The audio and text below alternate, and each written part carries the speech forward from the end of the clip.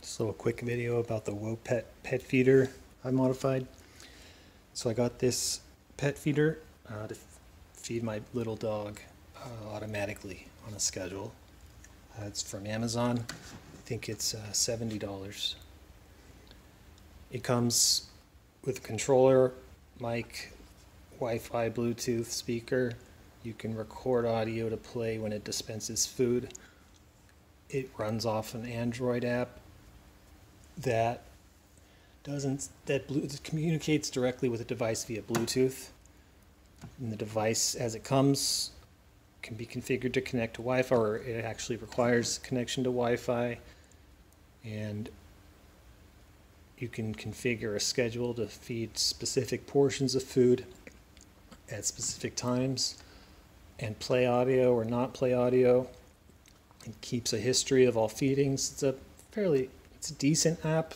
It's not great. I'm not satisfied with it, so I modified it. Oh, I didn't modify the app. I modified the WoPet, and I eventually probably get to an app, if not just leave the web interface or API calls available. So, what I did is I took an Node MCU because uh, it's got you know the 8266, the ESP8266 Wi-Fi just on board. It's it's ready to go. It's a great package. So I used it um, this is an amazing platform. I think it's really well engineered. Um, it's got this large basin for the the pet food stay. It's, it's a cone that you know uses gravity to feed these little uh, sections where the where the food is dispensed out the front, and basically the motor turns and moves food into little uh, segments where, or areas in there that I'll move it right now just to get a visual of what it does as it's functioning. So that's one portion as I've configured it. So this they advertise this as a non-clog and it does a great job of um, avoiding clogs and jamming. Um, I think it's a great design. So I wasn't satisfied with the app and control it gave you. So what I did was I uh, I took it apart. Uh, I'm gonna open this up in a second here, um, and tried to understand how it was working, and built um, built this board to interface with the different components. So let me take this off. Here it is. So this whole thing comes off. It's very, very friendly for disassembly and hacking. These are Phillips head screws. They're all on the bottom. There were no uh, warranty markers, like voiding the warranty or whatnot. It was just like it's a platform to be modified. It's so well engineered. I think this is this isn't the stock optical sensor, but that's that's what it does. Is it works off this gearing system where there are paddles and spaces. So the, the sensor detects when there's when it's blocked or when it's open, and that's a way to, to, to count the number of rotations or partial rotations in order to dispense. So all there are are wires to control. So this is just going straight to the motor. This is um, a power cable. So there's a USB port on this. That's all it is. And this other wire are three a three pair wire. Uh, I use shielded just because I was afraid of this motor interference uh, affecting the readings, but this isn't the stock sensor, although uh, the stock sensor, let me see. Um, yeah, I don't have the stock sens stock sensor in front of me.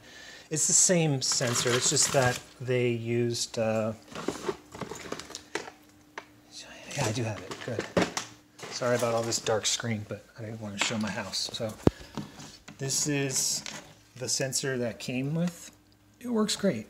I just preferred to um, use one I had. It was a three wire sensor and I just broke apart this mounting in order to sort of use just to use a bunch of hot glue to fix it on there. It's it's not the most well engineered design. If I were to try to make this into a platform like more solid, I'd probably just remove this base and make my own 3D printed adapter to mount this. But you know, this prototyping purposes, I used hot glue. The only other component in here is a button I added to interface physically with it because the original had three buttons that I'm not using anymore because that controller board isn't there anymore. So just a way to manually interface with it if I don't have a computer in front of me or hand uh, my phone in order to get to the web interface that I'll talk about in a moment. So what this is, is of course a Node MCU. It has the uh, ESP8266. There's, as far as what components on the board, I think it's just a diode. One diode on uh, the power in that prevents power to draw from the board power if I have this connected to a computer. So the motor driver is pulling directly from an external power and doesn't try to pull out the USB power.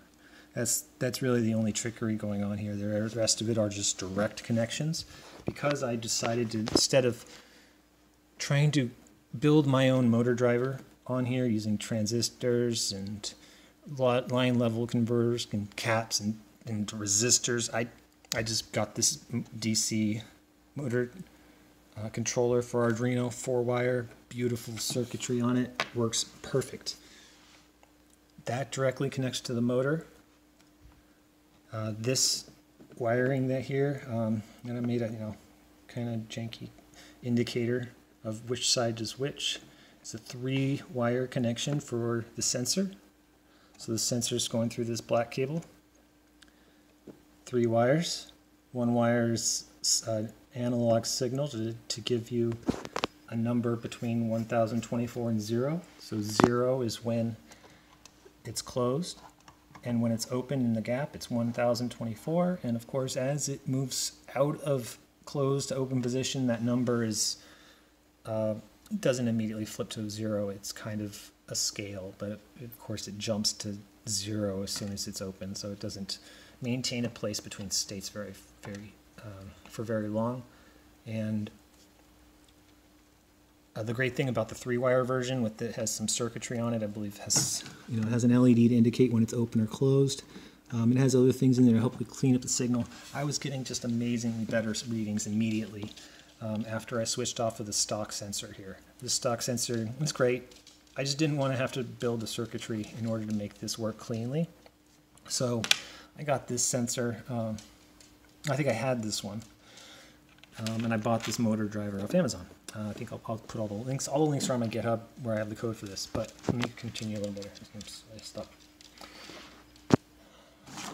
What I did was I wrote a little Arduino program and in order to detect when there's a gap and when there's not and advance the motor one one time anytime I uh, call an advance function, basically. So I think at this point it's for three. Uh, by that I mean one portion is three revolutions.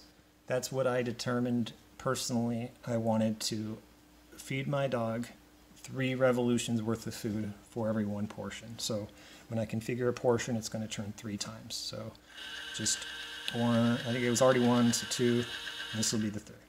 So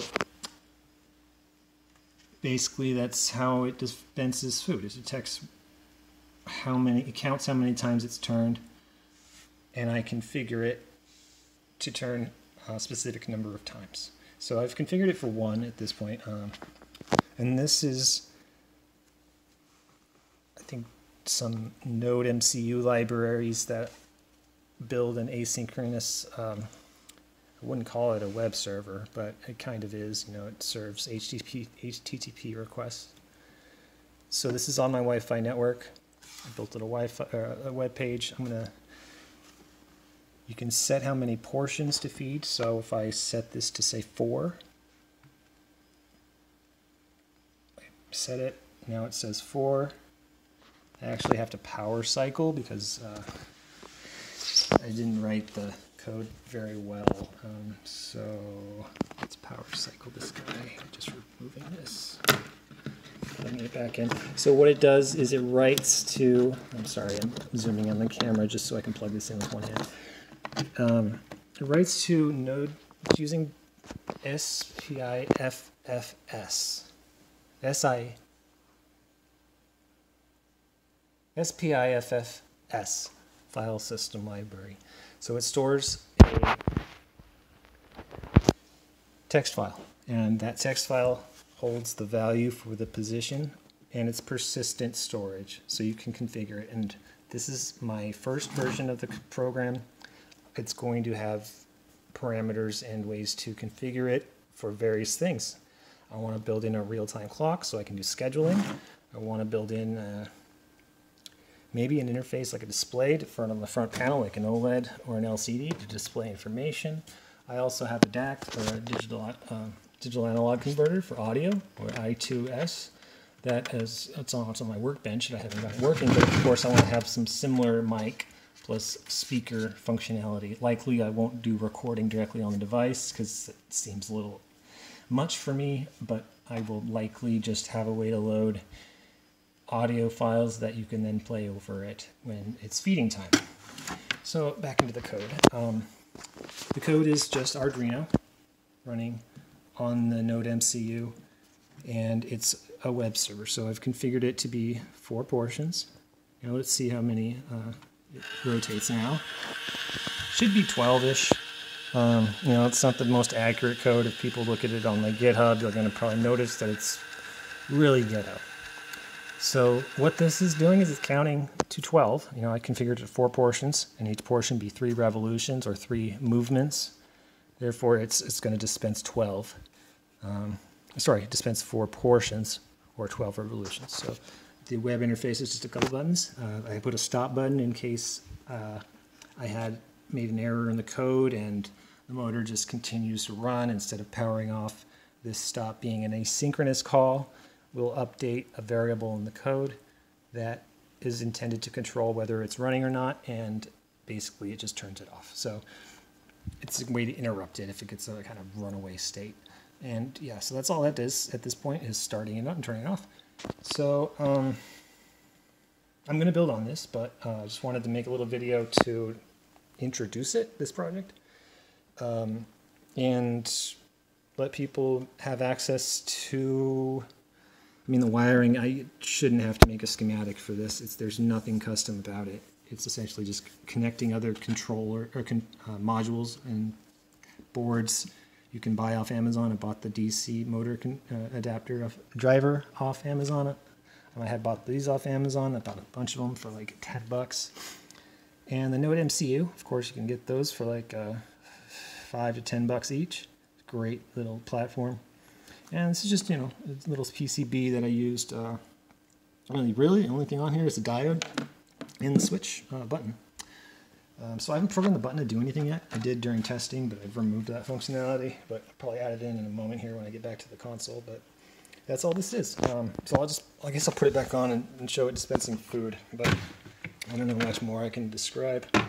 So this, all this does is set that on.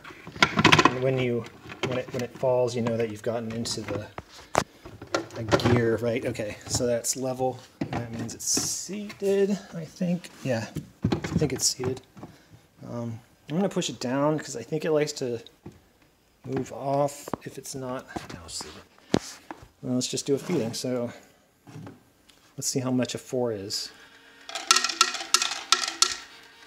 That looks like it's like feeding one piece of food at a time.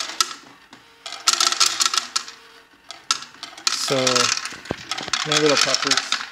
Monkey, come here. Show you my little puppers. So every, this is Monkey. Hi Monkey. That's her food. She knows the sound. She's just a little frustrated. She hears it and it's not hers yet. She knows that sound in the morning, runs over to it to get her food. So what I have is a, a scheduled, that's not your food button, get away. You got your food, you're a good dog, you eat your food regularly. But I have a scheduled task on one of my computer, or my server, that uh, a Windows scheduled task basically just sends the API call, the same thing the web page is doing, um, which triggers it at three times a day in order to feed my pet. Um, and I guess that's really all the, the video's worth. Um, so if anyone has questions, go ahead and post them in the comments. The GitHub's going to be in the comment, uh, the description of the video, as well as uh, probably links to some of the components. And uh, yeah, please, people, purchase this if you can afford it. Modify it, and please help me build this out. I, I feel like uh, if someone with some coding knowledge past the basic uh, coding knowledge that I have can get a hold of this and be interested in this, they can do some really cool things. I just, I'm bad. I'm not a developer, so I really, you know, hobbled along to get this code implemented, but it's got basic functionality, just the kind of basics I wanted to start from, and I guess I'm going to build on top of it now. So, uh, yeah, that that's all I really wanted to demonstrate was, uh, yeah, this WoPet pet Pet feeder modified with a Node MC Arduino to do whatever I say. Uh, and thanks for listening.